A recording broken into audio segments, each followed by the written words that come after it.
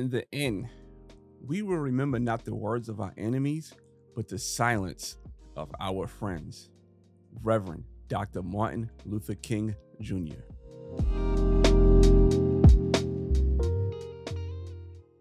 Welcome, or welcome back to the Broken Traditions Podcast with your host, Leron, aka Real Rap Ron.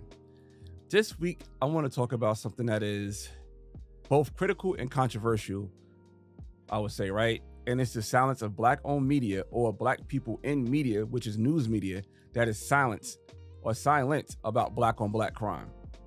The reason why I want to talk about this is because recently, during a Juneteenth event, one in Oakland and one in Texas, there was mass shootings, right? Fortunately, the one in Oakland, no one lost their life. A few people got hit, but they are um, expected to survive their injuries. But can't say the same thing for the one that happened in Texas. Uh, two women were shot and killed at this Juneteenth event, and the media is silent about this. The media is silent about this. Not only the media, also the black-owned media or people who have their respective platforms that are black that talk about uh, social issues, right?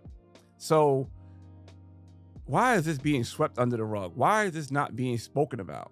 That's the question I want to ask today. Also, I want to call out a few people who who are silent about this, who are silent about this, but if the circumstances were different, they would be the loudest ones about it. But first, let's give a quick shout out to this week's sponsors, Garner's Garden. They offer amazing skincare, oral care, and cleaning products. Support them and support this podcast by clicking the link in the description and you'll get a discount. It helps keep Broken Traditions independent. Also, if you want to keep Broken Traditions independent, you can support me on Patreon or you could be a channel member on my YouTube. That helps keep the lights on. And also, if you like this content, you get this content a few days early. Appreciate everybody who are already members. And if you become a new member, definitely appreciate your contribution to keep Broken Traditions independent. First, I know this topic might ruffle a few feathers, but it's a conversation that we need to have. Before jumping to conclusions, before seeing the headline and get mad about things, listen to what I gotta say in its entirety. That's all I ask of you. Listen to the full conversation, then we can have a discussion in the comments respectfully. Also, if you guys listen to this on Apple, Spotify, iHeartRadio, or whatever audio platforms, YouTube as well, YouTube now does it, whatever audio platforms you're listening to this podcast, listen to this podcast in its entirety, then email me. Email me at Leron, L E R O N, Leron at brokentraditions.com. We can have a conversation. Perhaps we could do a live stream and have this conversation go a little further, right? Appreciate you guys. Appreciate your input. Definitely from the last episode, there was a lot of comments, a lot of engagement. I'm still going through the comments, but yeah, that was a great conversation. And, you know, my perspective, maybe like I said, ruffled a few feathers, but you know what? We got to have these conversations. I started the video with a quote from Reverend Dr. Martin Luther King Jr. And I'm going to read the quote to you guys, and this quote is relatable to today's topic and today's discussion. In the end, we will remember not the words of our enemies, but the silence of our friends. We will remember the silence of our friends in the end, not the words of our enemies. That is a quote from Reverend Dr. Martin Luther King Jr. I waited to after Juneteenth to discuss this. The two mass shootings, I want to see who talked about this. I want to see who brought this to their attention. And I know people might, oh, I didn't hear about this. I didn't see this. You know, if you're a content creator, sometimes you do dig up things and look for things and trying to find things to speak about on your content, right? And perhaps a shooting, you know I'm saying, at a Juneteenth event don't fit your analytics, don't fit your algorithm, right? Perhaps this is something that your audience don't want to hear about. Cool. But let me give respect to where respect is due for the people that did talk about this that I seen. And if you've seen anybody else who spoke about this, let me know in the comments. So, you know, I could at least put in the description or the show notes who talked about this and put videos, the link to their video so you guys could check those out as well. First, I want to say Logic and Reason. Logic and Reason was one of the channels I spoke about this, right? Shout out to Logic and Reason for speaking about the shootings at Juneteenth events. Another channel that spoke about this is Black Conservative Perspective with Greg Foreman. Greg Foreman talked about this, did follow up videos, spoke about this, and also spoke about the um the crash dummy who decided to shoot up the Juneteenth event in Texas that shot 14 people. And also give a shout out to Dr. Rashad Richey, uh, undisputable, uh, indisputable, excuse me, indisputable by the way of Sharon Reed, right? I think Sharon Reed was filling in for Dr. Rashad Richey, and she spoke about this on their platform. So I gave you three examples of three, I guess, black independent media outlets that spoke about this in their respectable platforms, right? And the ironic thing about this, if you want to look at this from a, a landscape of political, each one of those platforms I mentioned on diff- different sides politically. Logic and Reason is more independent. Black conservative perspective, I mean, that's within the name. It's more conservative, more uh, Republican based. And Dr. Rashad Richey and Sharon Reed is more liberal and more democratic, right? I had to shout those people out because they spoke about it. And I'll give another one other shout out to one other person who spoke about this respectfully in the way that they respect they, they speak about things. And that is um Benjamin Crump. Benjamin Crump, he uh he retweeted. Benjamin Crump is not a content creator, so I won't put him in this aspect, right? Benjamin Crump is an attorney, a lawyer, and he fight for civil justice as he see civil justice need to be fought for. So I would not put Benjamin Crump in that situation of not creating content because he's not a content creator, but he did mention this. And what Benjamin Crump did was he shared a video of the husband who lost his wife in Texas, speaking about her final moments. So I give him a, a notable shout out, right? But what Benjamin Crump did is the same thing Roland Martin did when it comes to this. And Roland Martin is the first person I want to speak about that was silent about this situation. Roland Martin. Roland Martin, I'm gonna start off with him because to me, I hold Roland Martin at a higher standard when it comes to speaking about black issues.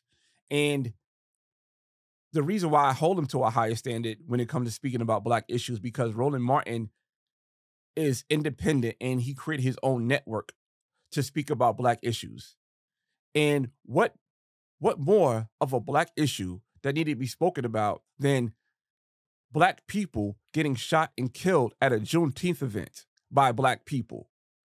Juneteenth is a federal holiday, right? Juneteenth is a federal holiday. The government acknowledged the end of slavery and they made Juneteenth a federal holiday. This year, two black women died by the hands of a young black crash dummy, 17 year old um, shooting at his quote unquote ops. And I would make the argument that he probably did not hit none of his ops because he's shooting that recklessly he shot 14 people and killed two. I went through Roland Martin's social media before I did this and to see that if he had any video segments about this.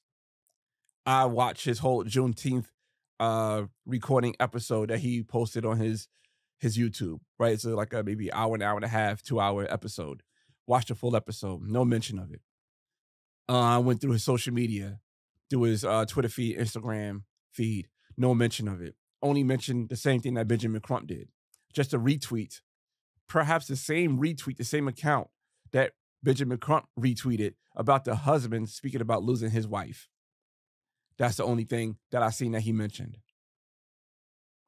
And he can't say that just didn't, you know, perhaps he knew about it. He knew about it because he retweeted it. Not not only he retweeted it, I would take it a step further. Uh Karine Jean-Pierre, the White House press secretary, she spoke about this. So this made it to the White House. The president has been tracking these tragedies.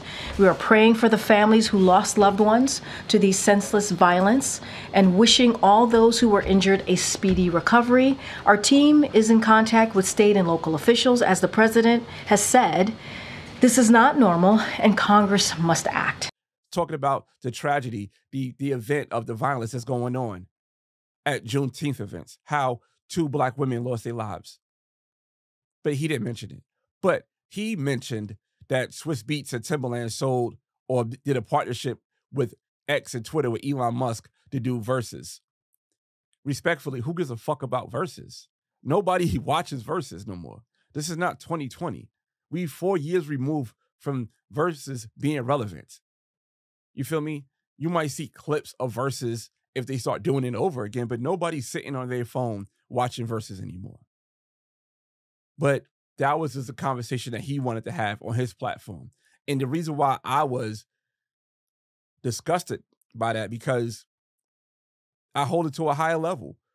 Say what you want about Roland Martin, but Roland Martin speak about real issues that's going on in the black community. He speak about real issues. There's times that I've get eh, I've gotten information from Roland Martin about something that I spoke about that nobody else really knew about.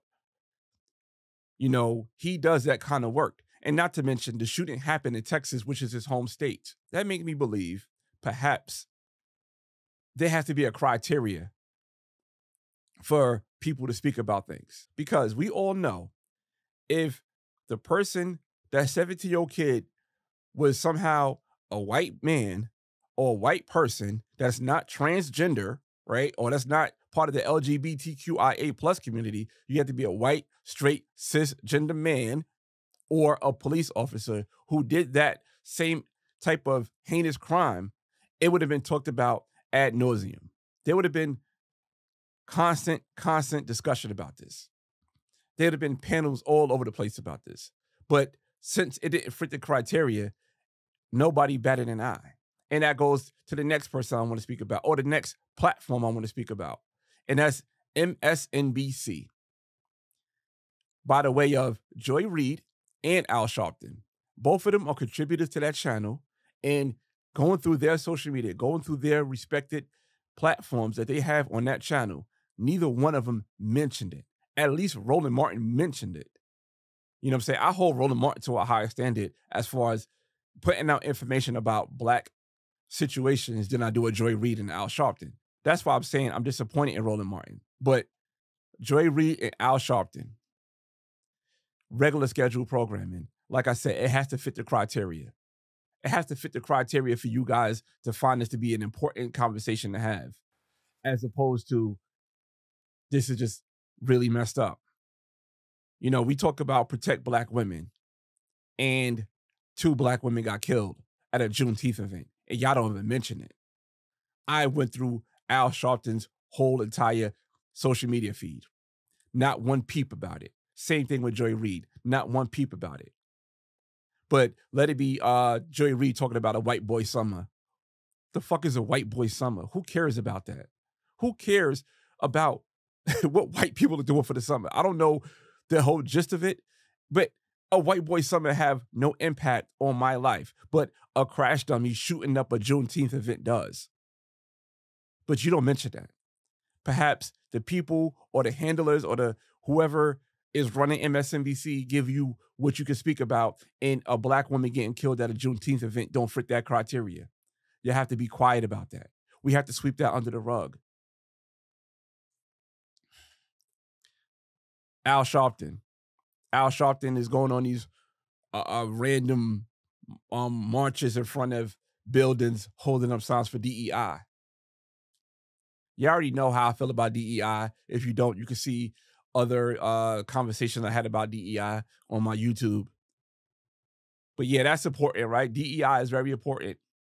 But we don't have to talk about black people getting killed at Juneteenth events. You can't get more black as an issue than that at a Juneteenth event. We talk about the, the freedom of slaves. The last slaves in this country under the law of the government was finally free. And y'all talking about some bullshit. Y'all doing some bullshit. Y'all don't want to discuss that. I understand y'all want to be real quiet and peep around and tiptoe around black on black violence. But damn, a Juneteenth event can't even get y'all attention. I mean, Karine Jean Pierre talked about this, or at a White House press secretary talked about this. And now, hopefully, I'm wrong. Hopefully, I didn't see. Uh, maybe I did discuss this. Maybe I did have this on your platform, but I doubt it. I truly doubt it. I doubt y'all had this because I understand how social media works. I understand how y'all platform works, and what y'all do is y'all have these conversations. Y'all promote it on your social media. I go through your YouTube, I go through your whole data, uh, all your data, right? I don't just come up here talking some shit. I go through things before I say something. And for the simple fact, for the sheer fact that I went through that and I didn't see not one increment of you talking about this, I look at you skeptically now. I'm on my Forest Whitaker shit. I see things differently on this side. And I see that y'all not even discussing something so major. Y'all discussing something so minor. I mean, I also have not seen this on CNN. I have not seen this on Fox.